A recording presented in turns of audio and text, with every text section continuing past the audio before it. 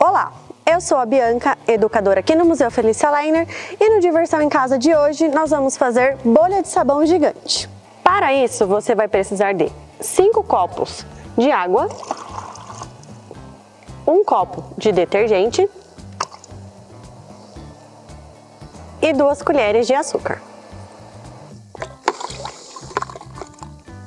Depois de misturar todos os ingredientes, você vai deixar descansar durante uma noite. Agora para fazer a bolha de sabão gigante, a gente vai precisar construir uma ferramenta.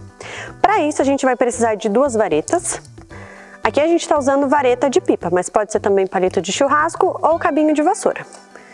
E dois pedaços de barbante.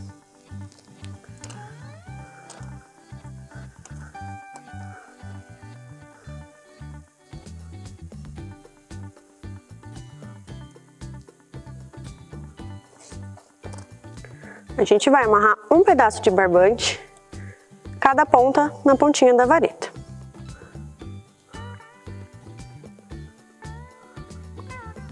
Vai ficar assim. O outro barbante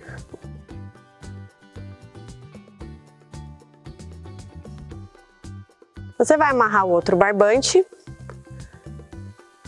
uns três dedos do começo do primeiro barbante que você amarrou, ó, aqui.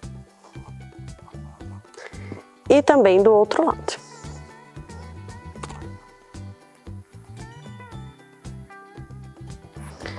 Vai ficar assim.